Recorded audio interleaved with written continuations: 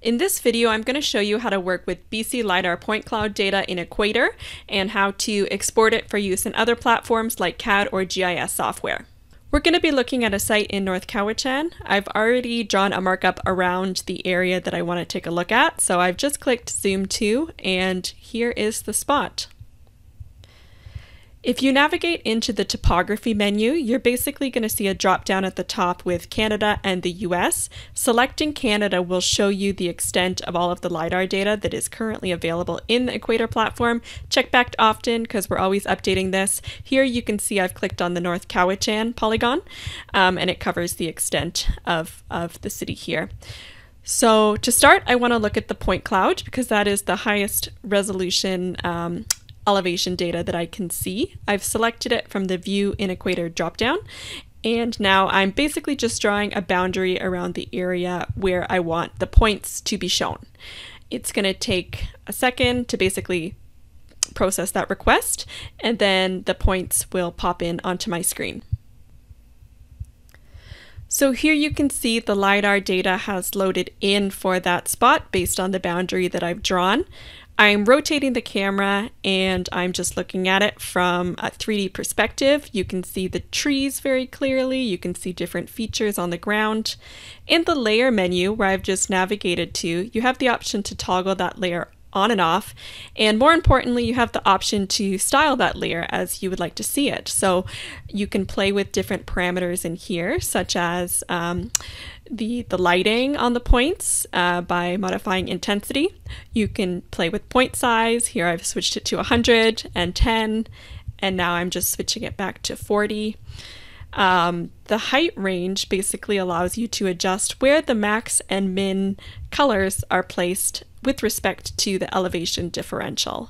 And finally, under classifications, this allows you to toggle on points with different tags. So I switched it to ground and now I've switched it back. So I have all of the classifications on.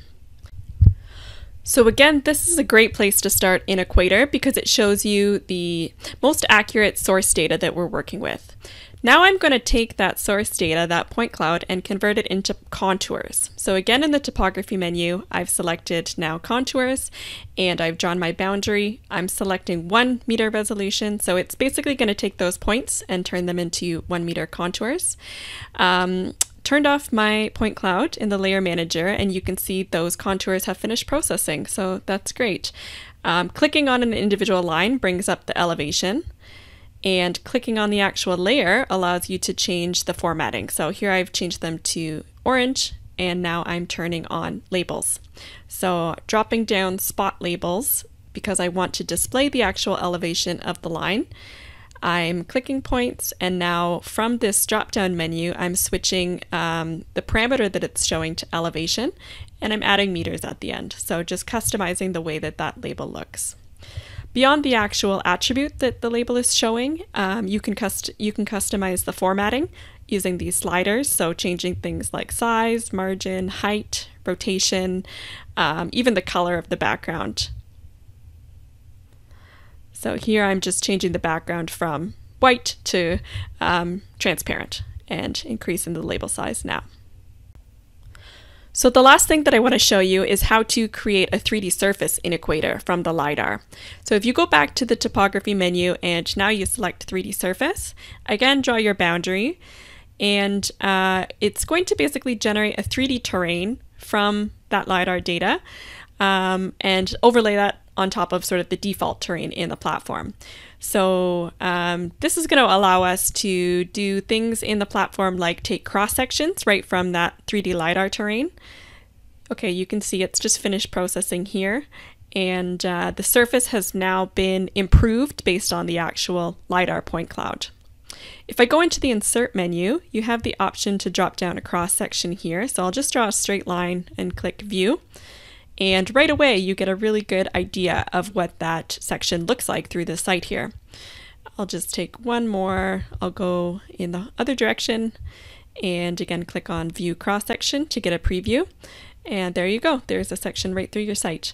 So you can export that if you want in shapefile CSV format. Say you're working in another platform, you just want to look at the elevations, um, quickly export it. And you can also format that line to look exactly how you want color and width wise.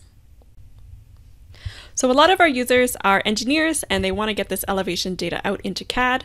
So back in the topography menu, I'll show you how to do that. Select contours, DXF or shape, uh, whatever format makes the most sense based on your workflow. Um, draw the boundaries again of the site, select your resolution. Actually, I'll change it here from one meter. I'm going to do 0.3 because say I want a much more detailed um, understanding in my CAD drawing. And then um, simply click on start and it's going to export the data and send you an email when it's finished. And that data is basically CAD ready. So you can just open it up in your software and um, start on your, on your project. So that's all for today. Thank you so much for watching and let me know if you have any questions down in the comment section below.